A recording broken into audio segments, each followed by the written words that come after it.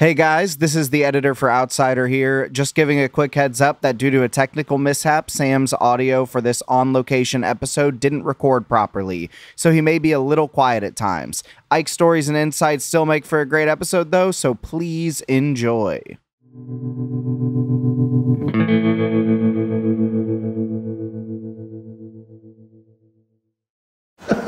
All right, folks. Well, uh, we are in Big Sky this weekend for the Total Archery Challenge, and I have legendary outdoorsman Ike Eastman here with me. Well, thanks for having me on, Sam. Appreciate, Appreciate it, it. Yeah, Yes, sir. Thanks. It's it's uh, always fun to come up here. This is a beautiful place, beautiful time of year, and uh, sit down and have a great conversations. The whole industry seems like they're here today. I like this one particular because I feel like a lot of the business owners show up to this one, and I just I haven't been to too many other ones, but I assume it's just based on views. Yeah, yeah, and I've done Park City uh, a few times and Snowbird a couple times, and this is my favorite. Partially because it's close. I mean, I only I only live three hours from here, so Did you grow up? Whereabouts do you live? um, Powell, Wyoming, which is northern Wyoming. We live about 100 miles south of Billings, Montana. Okay. Um, How far are you from Custer, South Dakota?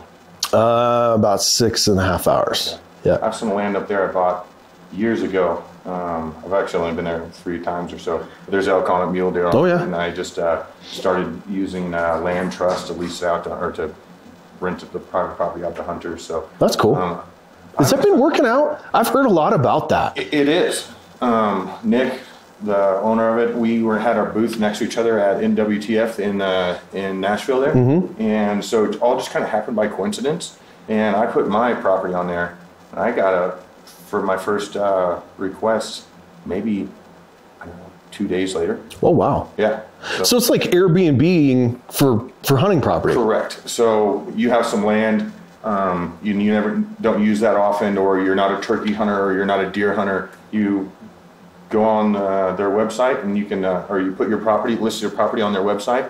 Then um, end users go on there and they look for private property they can hunt, and uh, you upload some game pictures, pictures of your land, and everything like that. And people will pay you to go uh, use your land. And so then, uh, then I, I know this is probably a shameless plug for him. I don't, I don't know if he's one of your sponsors. He isn't mine, Yeah. but but I've always been one to. I have nothing to do with it. I've never talked to anybody that's been on the other side of it. I was like, oh, that's pretty cool.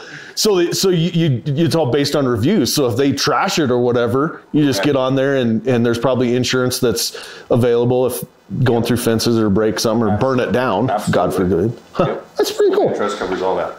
That's pretty cool. Plug for you, Nick. Yeah, check out Land Trust. They're awesome. Great guys, great ownership. Love them. They're not a sponsor Show me a yet. Nick. but uh, so did you? Uh, is that where you grew up? Yeah, so I grew up. Um, I was actually born in Jackson, uh, Jackson Hole, Wyoming, and fifth generation from there. My family's been ranching there for a long time, and uh, during the '80s, uh, we uh, went through the housing bubble, and and uh, actually my parents ended up going broke during the '80s, and we moved to a little town called Thermopolis, Wyoming, which is uh, a little it's it's a little hot spot but it is a recreational um, mecca. I mean everything you wanted to do there uh, one of the blue ribbon trout uh, river that flows right through town everything from antelope lots of public land surrounding the place. I grew up uh, or moved there in eighth grade started working on a ranch right immediately after I, we moved there and um, grew up hunting and fishing and, and doing living the ranch lifestyle. And it's been it was good. It was. I was on the drive up here. I was just telling the guy I rode up here with just funny stories from growing up on on ranches uh, in you know central Wyoming. The funny things you do as a 14 year old kid. You know, Yeah. we were talking about getting stuck and. He asked me, he goes, Why do you drink out of a straw? I said, Well, there's a story. I was 14 years old and I had a whole, I had uh, 10 head of horses and a, hor- and a, and a truck and we were moving them. They're brood mares, so they're, you know, they're wild pretty much. They're not broke. They're just for popping out colts.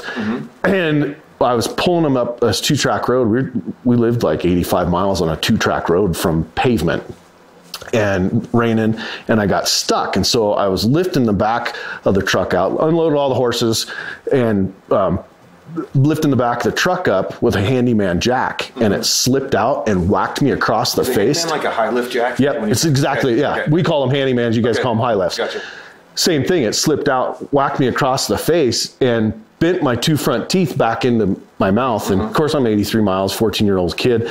I just pushed them back with my tongue and went about my business. And ever since then, hot or cold, I cannot. If if I I will I will piss my pants Really? if I touch ice to my front teeth. Yeah. Have you lost any coloring in them? Are they gonna fall out? No, but oddly enough, one of my teeth is still a baby tooth, and the other one never came in. And the doctor thinks it's because I damaged the pathway for it, because Really? it's this tooth. Yeah. Those high lift jacks, I've seen guys using them uh, hum- Humvees, and what you have to control it on its way up. Up, yep. Right? Otherwise, it'll Slap, up. yep. And I've seen a guy turn and let go, and that thing just went right by his head. Yep. And I'm like, I think that would have knocked you out. Oh, it, I'm pretty sure I was knocked out. I don't know because I was by myself. Yeah. Uh-huh. I remember picking myself up out of the mud.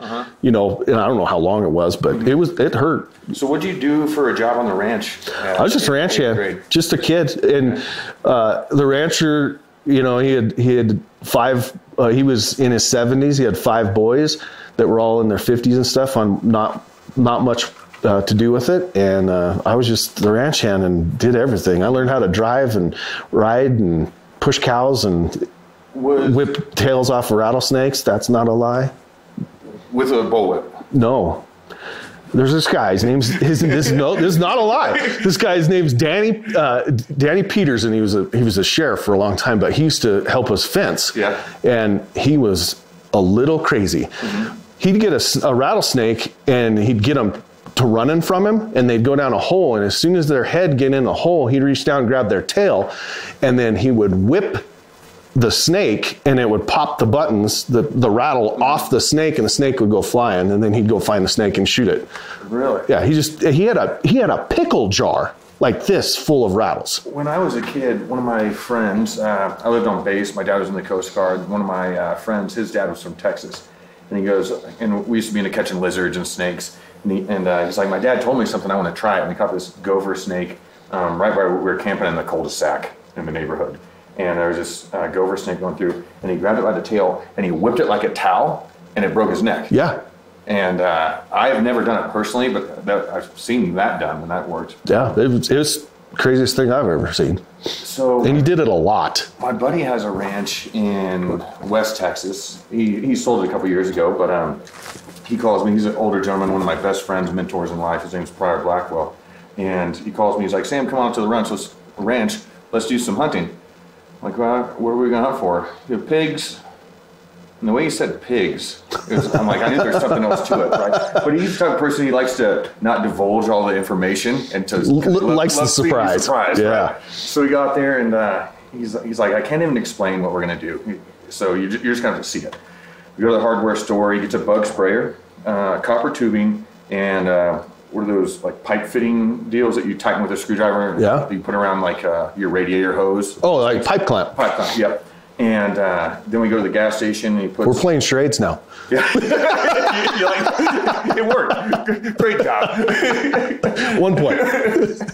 And uh, we go to the gas station, and he puts, you know, fills that uh, bug spray about half full with gas. Then uh, we go down to his ranch, and uh, uh, back to his ranch. He's like, "Okay, we're gonna go down here, and um, we're gonna catch some rattlesnakes." I'm like, "Okay." And uh, snake grabbers, box, the whole nine yards. And he's like, "Watch out as you're walking down, because they den up in these cracks in these rock." So my buddy uh, found one. Actually, Morgan Luttrell, who was with us, the congressman from Texas Oh yeah. we did a couple of platoons in the Navy together. So he was out there with us. We're walking down. He catches the first one, and then Pryor takes this bug sprayer and he squirts it on all the little cracks, just a tad bit, right? And uh, I'm like, what the hell's going on? He's like, they don't like the fumes. Give it five minutes or so, and they all just start easing out of these cracks. Oh my We're gosh. throwing them into his bucket or uh, like a wood. It's like a horror flick. my brothers, my brothers are deathly afraid of snakes. He stayed in the pickup for a while. It didn't sleep for a week. I'm like, come on, dude, you gotta get the fuck out of the pickup. He went down there and caught one, and What'd you do with them? we gave him to an older gentleman from town. Uh, he came in. We gave him to him. I believe he Alive? Yes. Oh. And uh, he does just about everything with them. from the meat to hat bands to the, the whole nine yards. So Jeez, yeah. I I hope to never get invited on that. I'm going to be really sick that day. I am not a fan of snakes. So, uh, when did your father start Eastman uh, Journals? So uh, the magazine, the flagship magazine, Eastman's Hunting Journal, started in 1987, right after he went um, bankrupt in, in Jackson. Um, he was selling. Actually, let me back up. So in 1957, my grandfather, my dad's dad, had this idea that he could go to the North Country and film wildlife, film hunts. Okay. And so he mortgaged the house, bought this camera, and went up there and was filming caribou and polar bears and you know sheep and all this stuff. And then we bring it back down to the lower 48. He lived in Washington and uh, Omak, Washington. He'd bring it down to lower 48 and he'd travel around with it and and fill high school stadiums and then he would live narrate this footage. People never seen a Dall sheep. They'd never seen a, you know a real caribou on Yeah. because it wasn't you know TV didn't have that. Yeah. T- it was barely color TV back then, and so he'd get these huge uh, crowds of people. Well, then he kept doing this, and then in the '60s he went to Northwest Territory and made his first film, which was called "Challenging Northwest Territories." It was uh, sponsored by the Canadian government because the Canadian government wanted to see if there was animals and there, if there was a market to hunt in the territories, Northwest Territories, Yukon, Yeah. Northern BC. So he made this film, and it's really legendary um, in the hunting world. You know, in, like your father's age, they would know this because Yeah. it was everybody had watched this thing. So then he kept filming it. He worked for Disney for a, a while, uh, Walt Disney, filming wildlife and sending you know wildlife clips for B-roll on their stu- on the studio stuff, and then built a couple theatricals. Lived in in uh, Hollywood for a number of years, and then in the '80s, early early '80s or late late '70s, um, my grandmother put him in rehab, and he was an alcoholic. Got him out of out of Hollywood, bring him back to Wyoming, put him in rehab, and then in the early '80s, he was kind of just mulling around. Lived in Bozeman for a number of years, and and uh, just kind of hobby. And when one of my uncles uh, came to him and said, Dad, we really need to put these old theatricals, we need to put them on VHS and we'll sell them to all these video stores around and then they can rent them out. Because there's a lot of people that remember those theatricals. And so they did that and they were selling them to, you know, every little town had a video store. It was even before Blockbuster. I mean, it was you go into a gas station and Yeah, one corner was a video store, right? So my dad went bankrupt and he started selling videos. He'd travel around all over the country selling videos uh, to these little stores. He's been in every single little town. Everywhere but the southeast, but I mean, you name it. You ever been to Mechanicsburg? Yeah, oh yeah, yeah. If you go across the tracks, he would say to the, if you go across the tracks, there's a video store in a in a Conoco. Really nice guy, stuff like that. Even to this day, he'll tell you things like that. So he was in he was in mechan and this, this is where the story starts. He was in Mechanicsburg, Pennsylvania, and the guy um, that owns the video store says, "Hey, would you would you mind lecturing to these guys want to come out west hunting, but they don't know how to do it? Lots of hunters in Pennsylvania. Yeah. probably. I think it's the largest concentration of hunting in the country, and so yeah, it, lots of hunters. And so he started lecturing and lectured the first time and then he would go to Harrisburg has that big show, right? Well, back then it wasn't owned by the NRA; it was just a Harrisburg show. He was sitting at a booth, trying to pitch or sell videos to people, and people kept coming up to him. Hey, I heard you're the you're the Western guy. I, I really, you know, my dream is to shoot an elk. I really want to shoot an elk. How do you do that? And basically, he he got tired of answering the same question over and over, so he built a pamphlet. It was basically a, a yeah, a frequently asked question, and you just hand them out. Here's all this information you need to know. Well, then he's laying in bed going, I should make that into a magazine. I, I can't, you know, I don't have barely a high school education, but I think these guys would be interested in it, and I'll get, I'll get them to come out west, hunt, and then tell me, and then send me the photos in their story, and I'll just print that as, Yep. you know, success stories. And so he started doing that. That's 1987 well, it grew and um, in 1987 grew till like the mid 90s and then he started the bow hunting magazine Mm-hmm. in 99 and then started the hunting the eastman's hunting tv in 99 put it on the outdoor channel. Very similar to that the guy that owned the, uh, that was uh, managing the outdoor channels my dad goes i'd like to put a tv show on on your channel so i could sell subscriptions to the magazine. Um, and the guy goes well i'll tell you what what's it about? Well it's all western big game. He goes you think you can do 13 episodes of Western Big Game, only Western Big Game? Yeah, I think so. The guy goes, well, I'll tell you what, when you get them, when you get them all filmed, you let me know. He goes, no, I already got them all filmed. He goes, you have them all filmed? He goes, yeah, I've been doing this for since I was a kid. So he, he took these 13 episodes, put them on TV, and we've been on the Outdoor Channel ever since, since the since 99, 1999. Um, and then in 2008, he came to me and said, listen, I am 61 years old. I don't see myself doing this for another eight minutes. I'm done. So either you buy it from me or I'm selling it to somebody else. I was like, well, I guess I'm going to buy myself a job because I don't, I don't know if I want to work for anyone else. Interesting time to uh, take over the company. 2008, you know, people are getting their first laptops. You know, phones or internet on the phone is newly, you know, a new Yep. thing. And so you had a whole new problem set going forward. Well, and it was right in the time when people started going, oh, you know, traditional print is dead, TV's dead. We're gonna, it's all gonna be on YouTube, or, or YouTube didn't really exist yet, but it's all gonna be digital. It's all gonna be digital. And uh, so I bought it from my parents, which allowed them because uh, my dad always says this. He goes, "This is a this is a high profile, low paid job. We're not making billions, okay." Um, so I had to buy it from them in order to get them so they could retire. Yeah. And so I bought it from them, and they moved up into the mountains. Um, he lived, you know, within a stone's throw of the wilderness uh, in northern Wyoming for 18 years or 15 years, something like that. And um, I bought it from him and tried to figure it out. And that's when I said, okay, we got to. We don't want to abandon the traditional media, but I have to start this whole this digital side of the world. And so I started a, an e-news, which was an email with basically an email of what we were doing with the magazine. Was and he that's progressing into that at all? Okay. he he knew his time. One thing that my dad was really good at is innovation. He was innovative. From one of the first magazines to go from a computer to a magazine. Before that, they had to do these color separations. Long story, but he was one of the first magazines to do that. He was one of he was the first TV show on the Outdoor Channel to film with a little tiny camera mm-hmm. versus these huge beta cameras. First one to do that, and he, he was really really innovative. But he's in his 60s. He's looking and going. I don't know if I can do this again. I don't know if I can re-engineer this company Yeah. for the next step. And so he said, I think you can do it. So here, go do it. And so I started with the news, and then um, we we built a YouTube channel which has 250,000 subscribers now and 150 million views on it, thousands of videos. Um, we started uh, Eastman's Elevated as a podcast in 2016, I think. And now we have six podcasts, my own Eastman's Journal podcast, and Western Huntsman, and a Wingman brand, What's the predator one you have?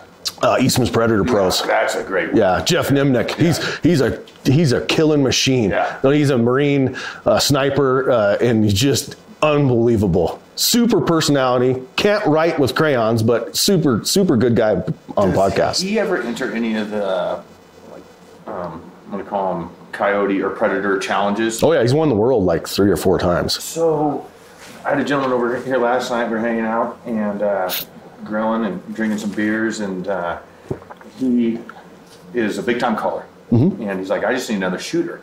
And he's like, look at the purses for some of these tournaments. And uh, one of them was like 96 grand. Another one, one Bobcat was, I think it was 30 point, 30 pounds and 15 ounces. Uh, that Bobcat alone paid like $46,000. Yeah. And he's like, well, if you know some landowners, we, I can call. I got another guy can call, and if you have, if you and one, you have another shooter, I, I mean, we can, we could take a run at it. Oh yeah. And uh, you could do it January, February, or March, I believe. Yep. And uh, so I think we might do that this next. Oh, it's so much fun. Yeah. It's, you know, when you live out west, you have to choose what you do in the winter. I love snowmobiling, so I don't coyote hunt as much Mm-hmm. Yeah. as m- much as most guys. But yeah, he's he's done it a ton. He has he's had, he has his own TV show, uh, YouTube channel. Um, he's sponsored by Fox Pro, so, which Okay. is a call Yep. company, Yeah, or not Fox Pro. I'm sorry, Lucky Duck, which is a which is, they also don't let the name uh, deceive you. They also do predators. In fact, they do a lot of predator calls. Okay. Um, but yeah, Jeff is Jeff's good people, and and uh, he's he's won a bunch of those. He puts on his own classes. In fact, I'm working on a deal now I started, so the next step of our company, I started a learning group. And okay. so taking some of the knowledge from people like Jeff and, you know, Brian Barney and all these guys and, and disseminating it down to where these guys, you know, if you, if, even if you're a seasoned predator hunter, you can always pick something yeah, up, right? Absolutely. And so just taking all that knowledge and, and putting it in something that's digestible. What form are you doing that in?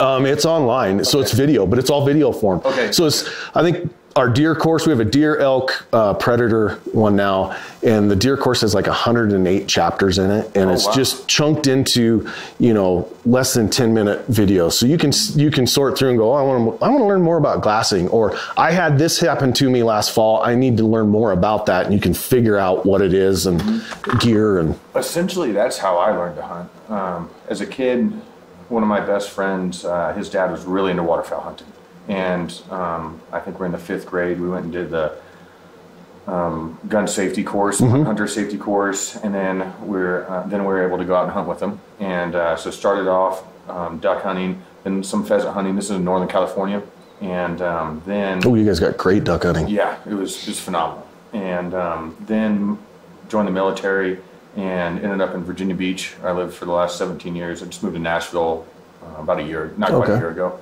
Um, and I really wanted to start deer hunting, and but I didn't know anyone else who deer hunted, and so I was asking around my platoon, and one of my guys in my platoon, he knew another um, SEAL, and his dad had a lease in, in Emporia, which is like an hour away. Um, so really, long story short, um, joined that hunting lease, and he's telling me some stuff, and he showed he shows me a lot. He was a great, great mentor. His name is Ron Pogue. He's absolutely awesome.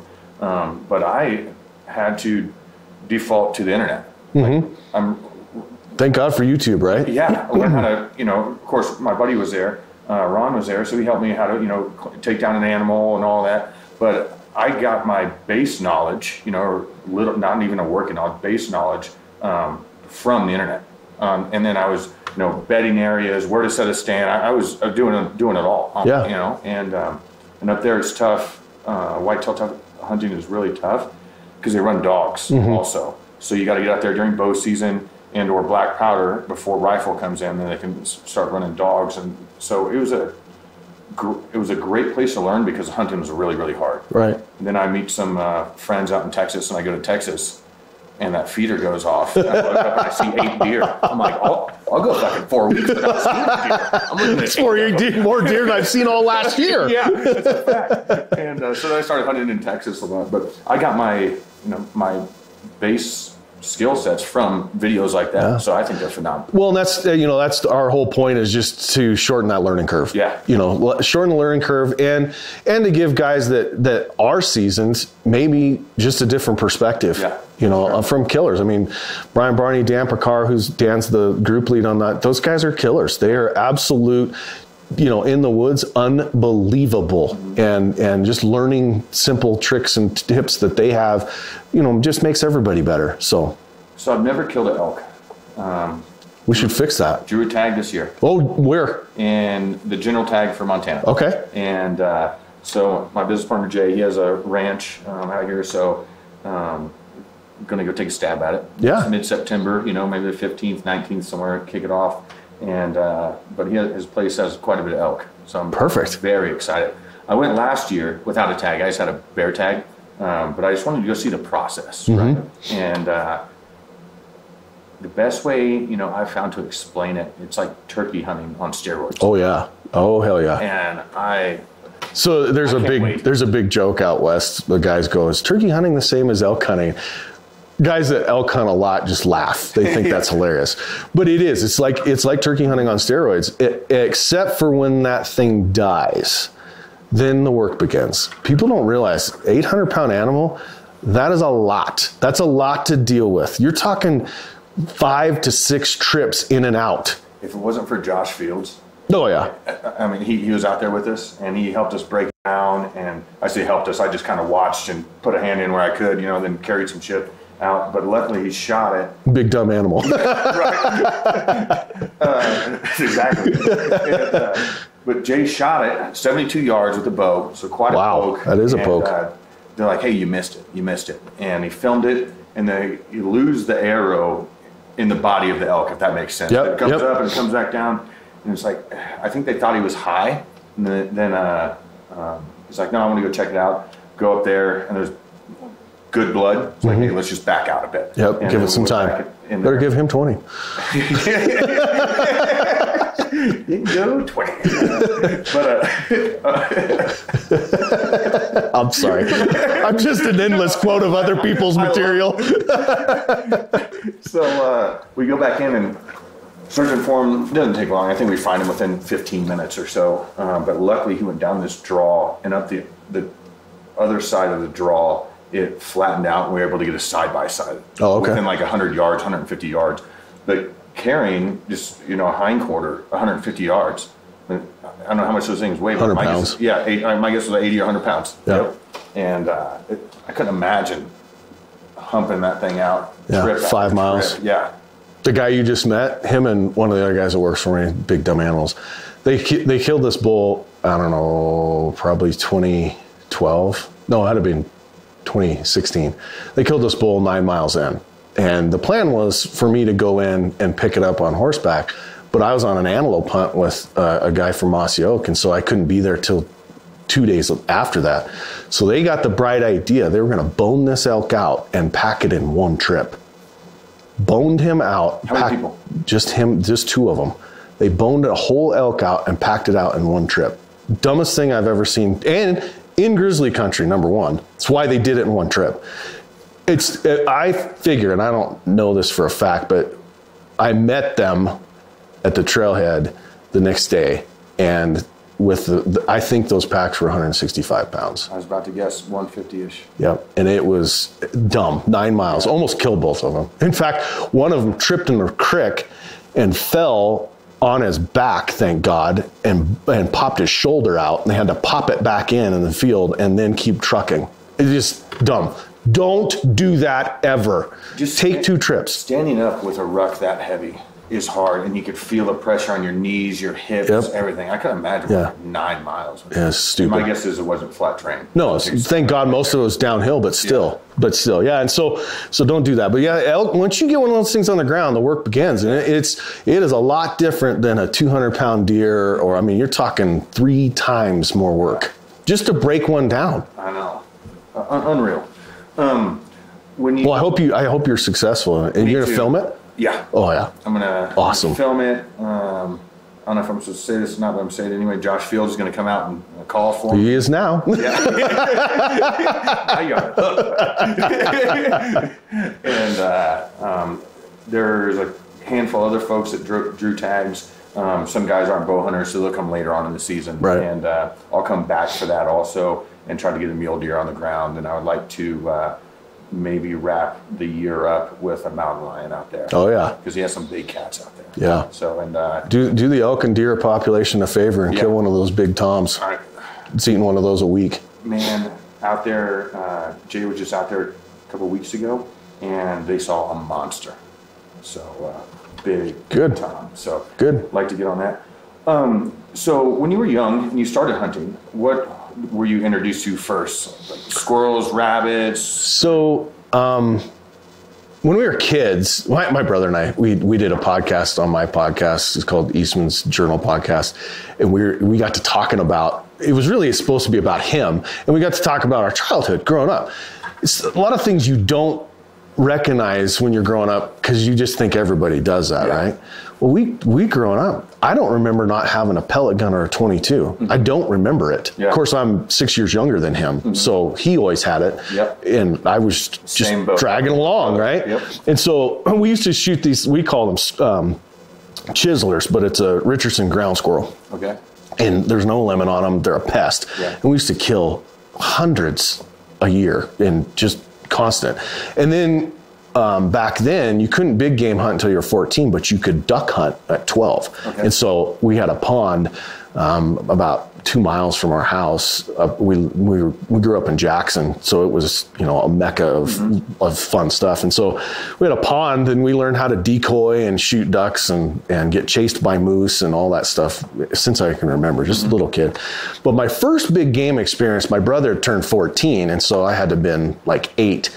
And my dad took us into one of his honey holes from you know when he was in his 20s and 30s and we did a day hunt in there. And you know he did the whole dad thing. And and uh, he's like okay the last 100 yards your brother and i are going to sneak up here. You sit right this by this rock and don't move. And it's you know it's fall so it's october and it's snowing sideways. And i had you know, I think I had tennis shoes on. I was freezing to death. It might be the coldest I've ever been in my life. Trying not to move, trying not to shiver. You're like, is this moving? I don't, know I don't know. You know, and my brother missed a deer, but it was it was such a bonding moment or time because then my dad showed us how to build a fire using pitch out of a tree Yeah. and how to build a fire in snow when it's wet and um, you know, I remember it vivid. But my first animal I shot was a mule deer, and uh, it, it's still it's on my wall today, and it's just one of the coolest experiences. wasn't a huge uh, you know adventure, but it was just me and my buddy, and we were in eighth grade, and you know hunted all season, and found this buck. uh, He was a on they owned a ranch. Found this buck just off the hayfield. Shot him with my dad's seven millimeter that you know he'd shot his first deer with. It was just awesome, awesome time. Do you get buck fever at all? So I don't I don't on mule deer, but I have had it on a weird impala in Africa. Really? I could not hit an impala it, with a shovel. It, it- it was horrible. I never experienced buck rifle. Okay. I, I had never experienced buck fever until that moment. Really? Yeah. I lose my shit. and uh, Jay makes fun of me. Everyone makes fun of me all the time. But I also love it because I was sitting there and I, I will see a doe, an animal that I know I'm not going to shoot. Like a young doe walks out, and my heart just starts. Doof, doof, doof. Start hyperventilating. Oh, oh my goodness! Yeah. and then like, shooting from like I shot my whole adult life uh, and been to a lot of shooting schools, but I have to get my shit together before I take my shot. Yeah. I'm watching it and watching the animal, watching the animal, go through my breathing sequence, and I, like it's hard for me. I have to lock on, so it makes it even more of a challenge. I'm like, man, I wish I could just sit back and relax and not have this feeling because then I can. But if you didn't, would you continue doing it? Is that what you're chasing? Um, great question.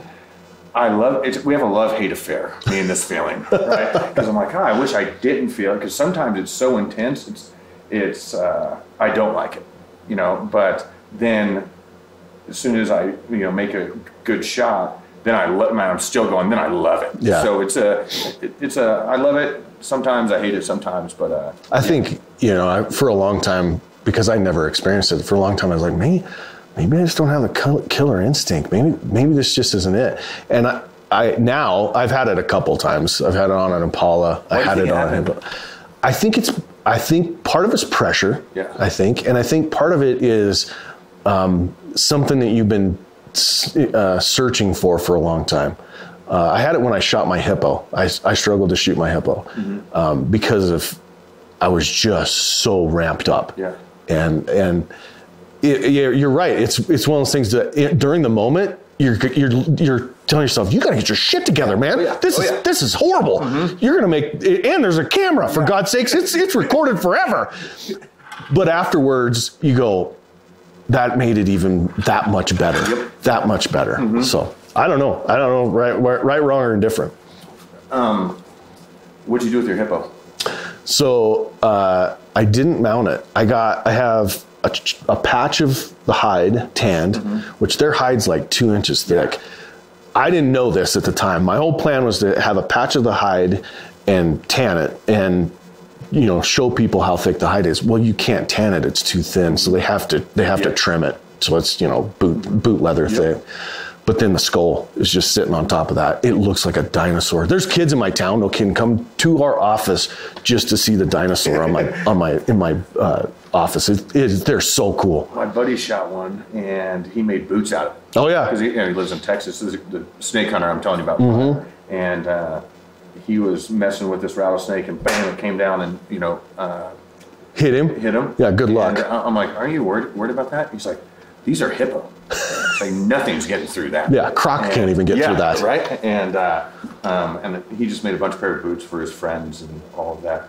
Um, They're really, it's a really neat leather. Really neat. super. I wish I would have kept a bigger swath to do the same thing. okay. No. Uh, how many times have you been to Africa hunting? Five, six? I'm going, I'm going, actually, I'm going uh, again next month. Really? Yeah, I'm taking my, my 13 or my 14 year old daughter and my 11 year old daughter, and my wife and I are going to uh, South Africa. Whereabouts? Um, it's right up against Kruger National Park. So it's not high fence because it's open. It's closed on three sides Mm-hmm. for traffic just to keep. I mean, it's right next to a highway. Yeah. And then the backside is open to the to the park. And that would be the north uh, west, West, side. yeah. Yep. I Yep. went to uh, up in the Limpopo district. Oh yeah. So we're, we'll be like 200 miles north of that. Yep. Limpopo. gotcha. Yep. And uh, I was up there with my cousin, and uh, he ended up killing. I think it was the 42nd biggest kudu Oh, wow. ever killed. Oh, wow. We hunted it. For, That's what. That's what one of the things. That's one of the reasons I want to go over there. They're Really? so cool. we hunted this thing for I want to say five days or so, and then uh, finally get on him. Right, we just drive around spots, you know, spot, spot, glass, glass, glass, and finally get on him. And uh, he's on him.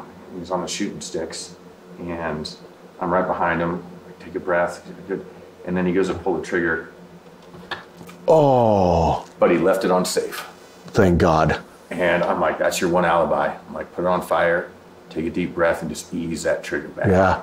and he walked this thing. I mean, it, it tightened up, didn't go 20.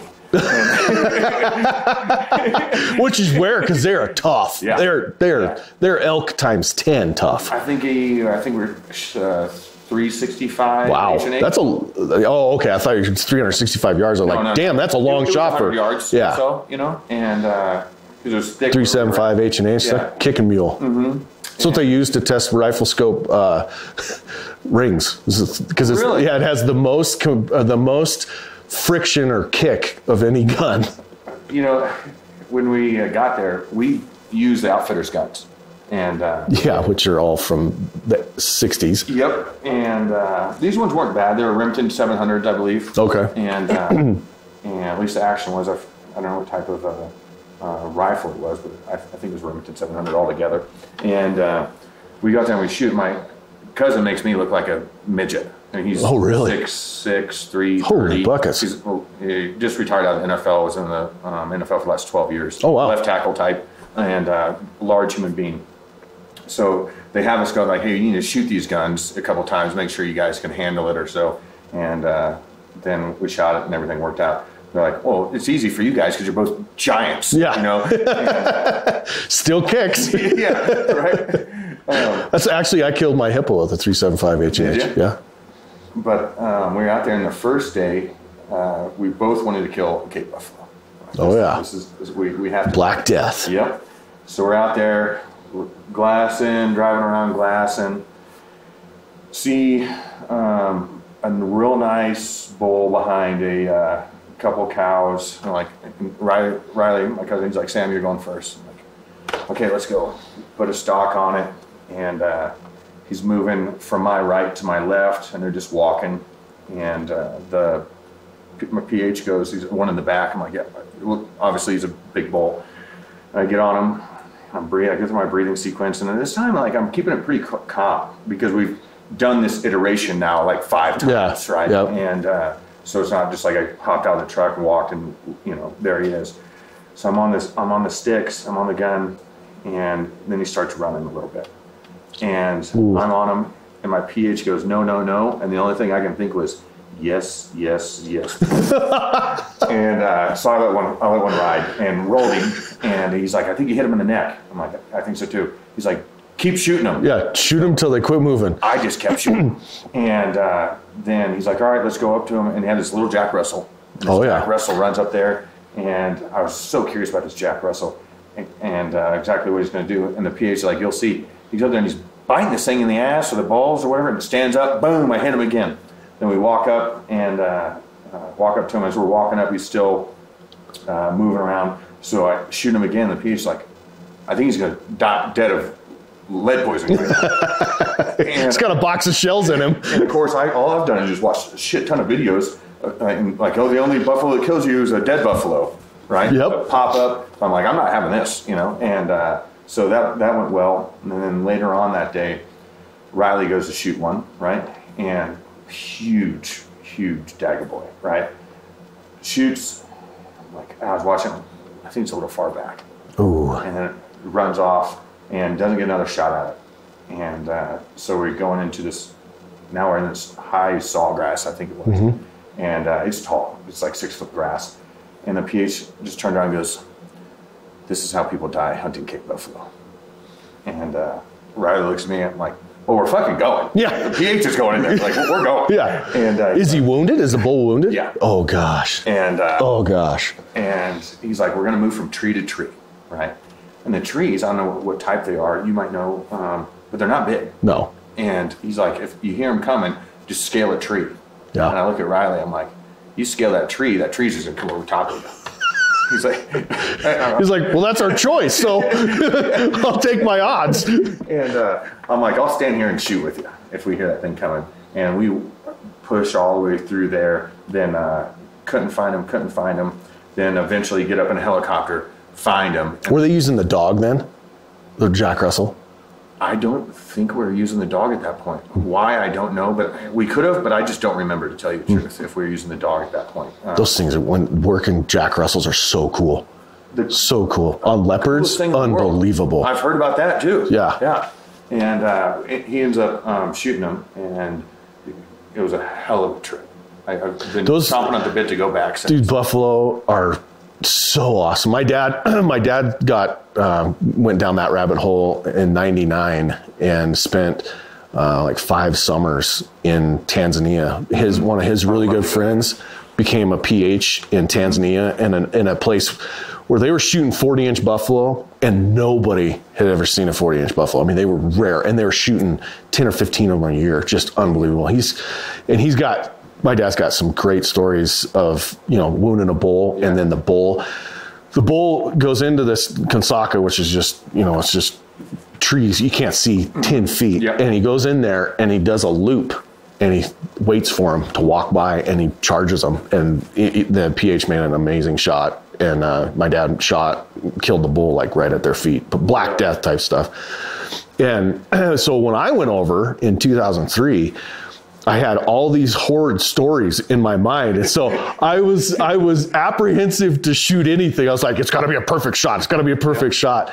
And uh, I had got a 40 inch buffalo that was I shot. I only had to shoot him twice. You know, shot him once, and he ran and then laid down. I shot him again. That was it. But it it was so intense. buffalo hunting is so intense. I love it. I mean, It, they just look at you. When they look at you, they look at you like you owe them money. Mm-hmm. It's crazy, crazy. have you got a leopard? No, I'm not a cat guy. Really? I'll do it for management. Like I've never killed. Uh, I'm just not into cats. Not into cats, and I'm not into bears for some weird reason. Interesting. Yeah. I uh, I love bear hunting. Um, I have not shot any cats besides a bobcat. Yeah. But uh, I would love to go. I want to chip away at the big five. Hmm. So I think leopard might be next. But again, the PH. You mentioned the Jack Russell and the, and the leopards. Yeah. He's told me horror stories about that. It's like, yeah, you wound a leopard, you go up on it, and what they do is they jump up on you and bite you by with their hind legs. They scratch, and then they'll jump from you straight to the next guy and do the same thing. Yeah. I, In their in their claws, so leopards eat rotten meat. Our cats, Yeah. cougars can't. They can't Really? digest rotten meat. That's why that. they have to kill fresh stuff every week. Mm-hmm.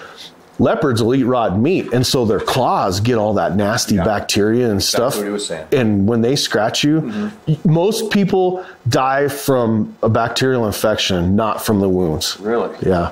The, the PH, my dad's buddy, had been hammered uh, two different times Mm-hmm. by leopards, like to almost dying. Really? Yeah, went from him, hit him uh, four times and barely nicked or barely missed his femoral artery. Yeah.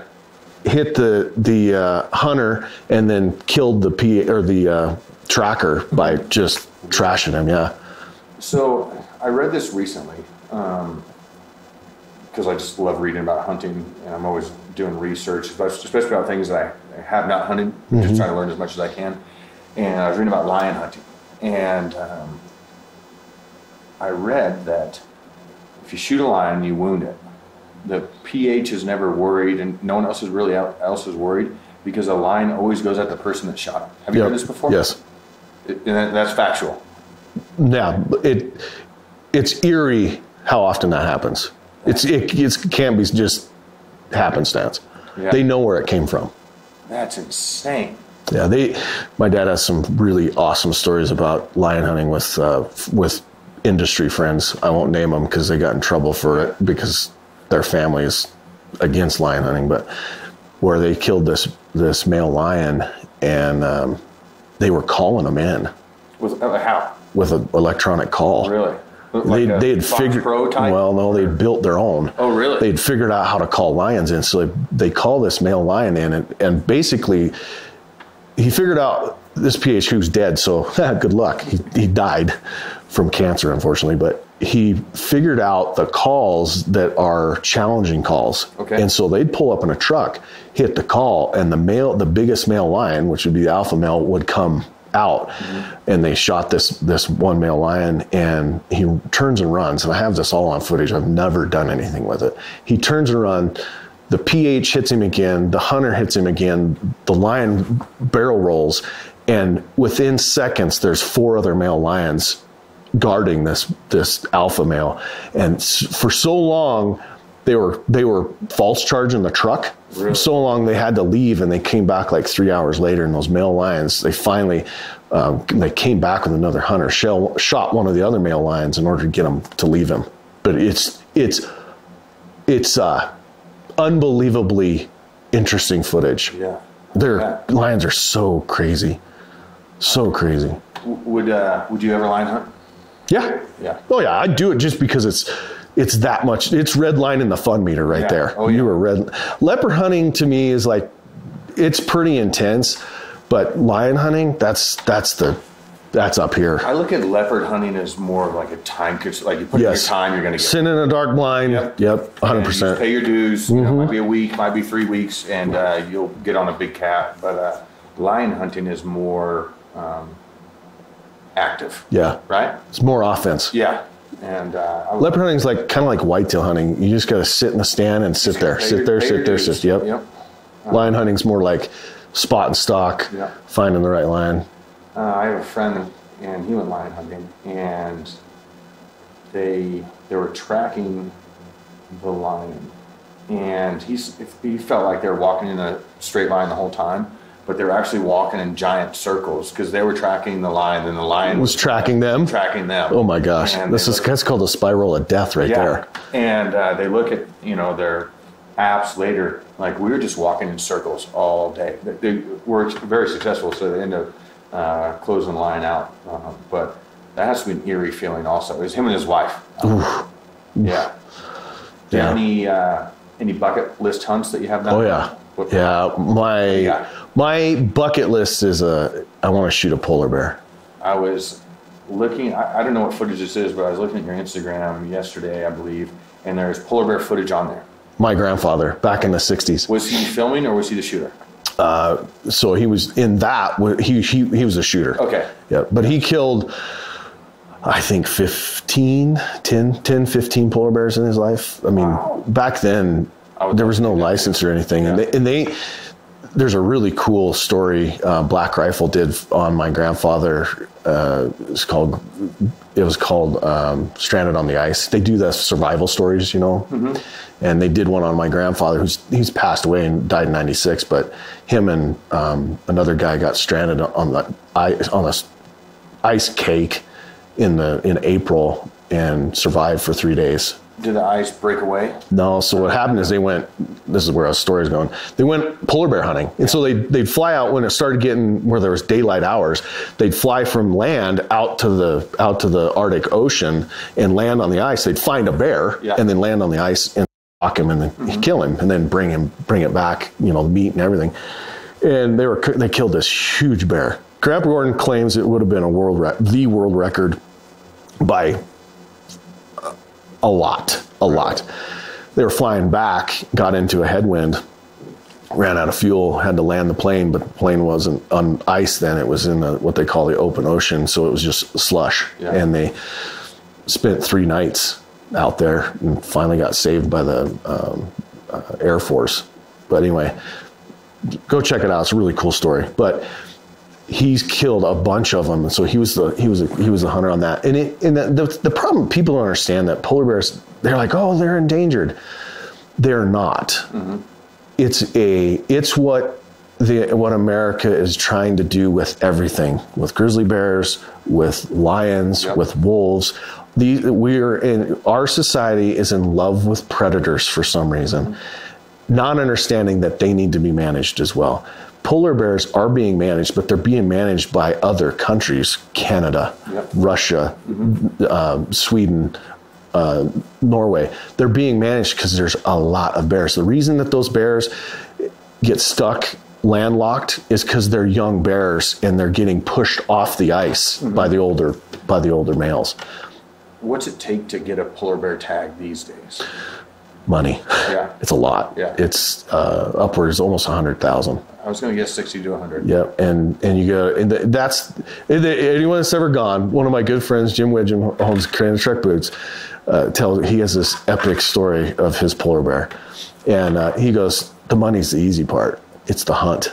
I go, "Really?" I said, "Is it that extreme?" He goes, "He goes, it's pretty extreme." Steve Hornady, owner of Hornady Ammo, said it even better. He said, it's the only place on the planet that he's ever been, and he's been all over the world. He said it's the only place on the planet that doesn't look like another place. He said you can go to Mongolia and you'd be hunting, you know, sheep or hunting ibex and go, man, this looks like Nevada, or this looks like the Rocky Mountains, or you know, go to China and go, wow, this looks like, you know, the jungle of Brazil or whatever. Polar bear is the only place that doesn't look like anywhere else. Where would you want to go? Oh, Canada. Canada? None of it. Yeah. Okay. Absolutely. And you and you live with the Inuits for you know ten days, Yeah. fifteen days, and you're living and eating what they're eating, and and I love doing that. oh, it's it is it is uh, mentally absolutely grueling. They claim it's the hardest part. Is Really? yeah, because you don't speak their language. They barely speak yours or won't, and so you kind of it's kind of lonely, and you're on snowmobiles. Um, some sometimes they drag you on a on a sled Yeah. that just piss pounds you into the dirt. It's yeah, it's it's tough. Not to mention it's 60 below zero. And polar bears are very aggressive, Yes. right? Yeah, they're they're the largest man, land animal and the toughest land animal. And yeah, they they run them with dogs. Is how they get, and they'll run the, you know, the, they'll take dogs, and then the dogs will get them wound up, and the the bear because he doesn't have a flight. He really doesn't. He'll fight, but he's not fast enough to get the dogs, and so the dogs will get him circled and stopped, and then you, so and they then you- them up essentially. Yeah. pretty much. Have you done uh, hog hunting with dogs before? Oh yeah, that is a blast. So I did that one time. This is a long time ago in South Carolina. My grandparents lived down there on Lake Anderson by Clemson, and they knew I was really into hunting. We were going down there for uh, for Christmas, I believe it was Christmas or Thanksgiving, but I think it was Christmas. And um, um, my grandpa's like, "Hey, I have a friend that uh, would like to take you hog hunting." And we go out there, and it's my wife and I. And I show up, and I have like an AR, I believe. And uh, he goes, "Oh, you're not not going to need that gun for long." And I had no clue what he meant about this.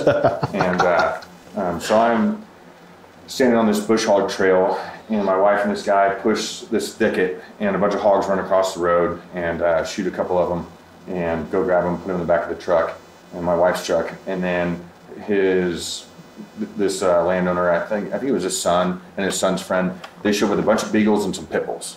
Oh yeah, And uh, life's about to get real now. I'm like, what's going on now? He's like, now we go to real hunting. He's like, you're gonna use this big knife. I'm like, okay. And so they let the um, bay dogs go, and then you know maybe a half hour later, like, oh, they're, they're on a nice boar.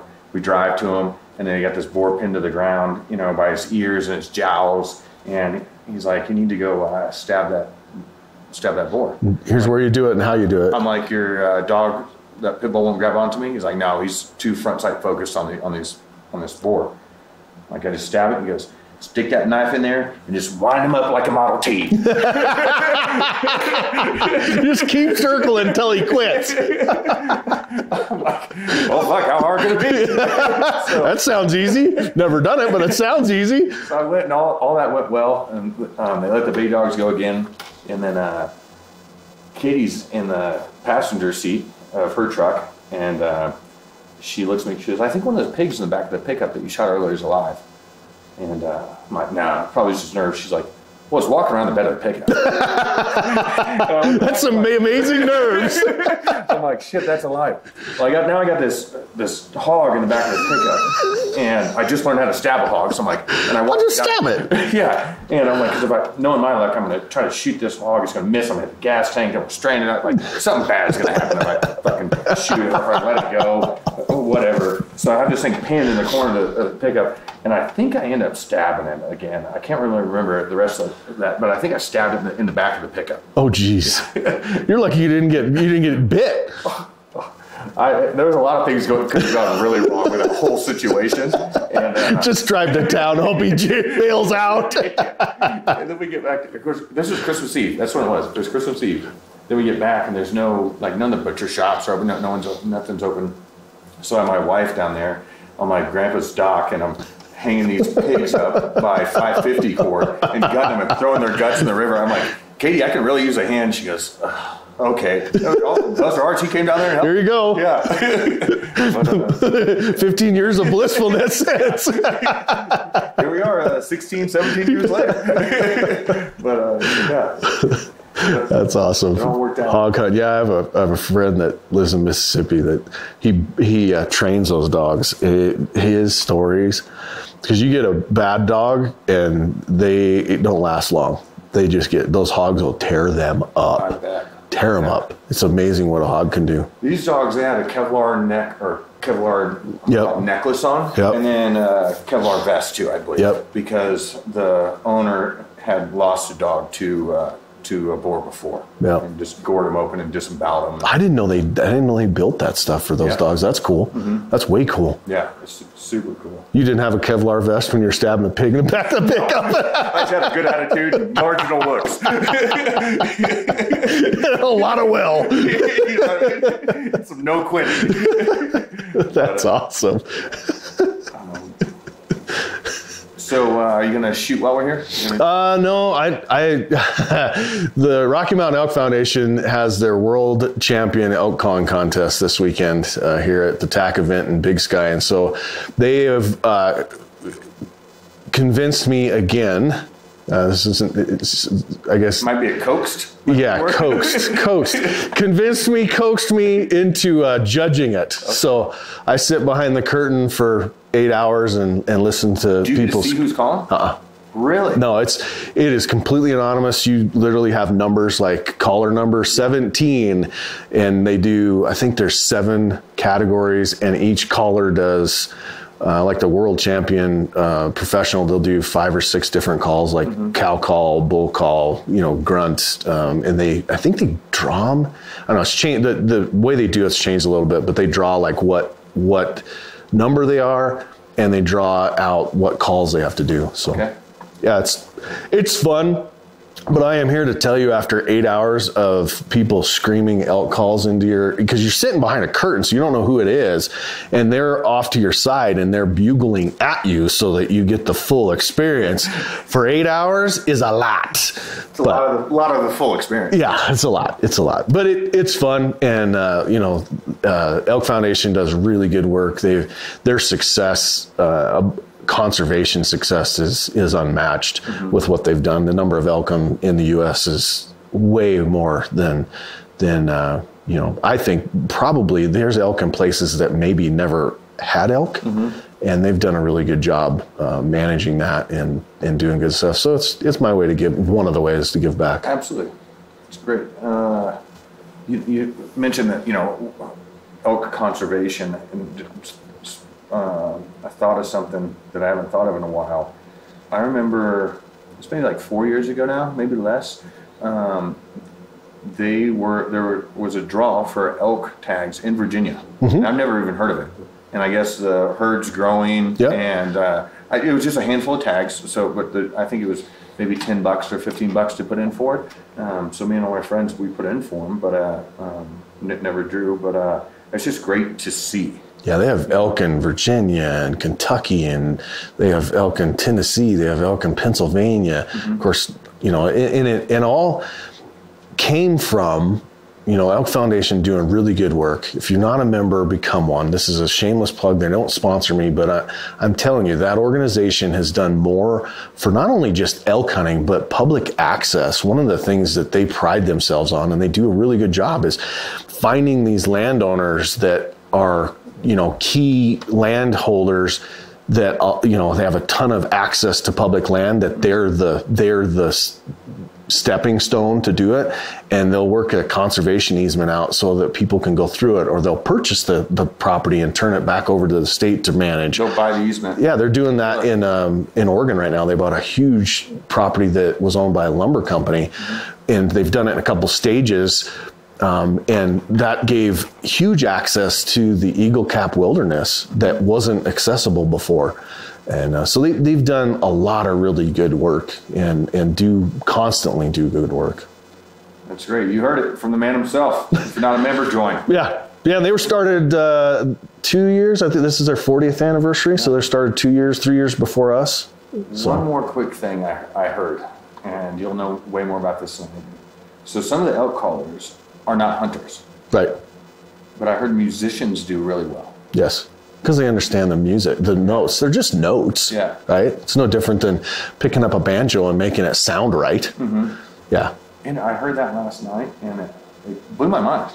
You know, but it makes perfect sense. Yeah. If you can mimic if you can mimic a song, you can mimic an elk. Yeah. If they're just musical notes, mm-hmm. that's all they are. Interesting. Just like everybody's voice is the same. Just I musical notes. my own voice on these. Yeah, me too. I I begrudgingly do it. Yeah. Not your voice, my voice. Yeah, perfect. Well, I appreciate I it. appreciate your time, my man. Thank you. Yes, Thank sir. you. We'll we'll have a couple cocktails tonight, I'm sure. Watch some Yes, good video. Mm-hmm. Appreciate you. Yeah, and, thank you. Uh, we tell everybody where you can check them out. Tell them about your journal, where you subscribe Yeah. to. So eastmans.com has uh, everything that we're doing. Also, you know, Instagram, Ike, my Ike, IKE Eastman, uh, Instagram, Facebook. Um, we're doing a ton of stuff on YouTube. Check that out. Really, really good hunting content, gear reviews, and uh, of course, historic stuff. Yeah. Polar bear hunts, sheep hunts. So Absolutely. Cool. thank you very much. Thanks, brother. Yeah, take care.